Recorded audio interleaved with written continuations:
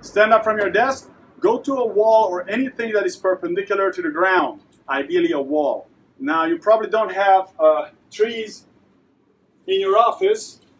Find anything that's vertical to the ground and you getting yourself closer to it and you push yourself away. Better you get it this further away, you can step away from the wall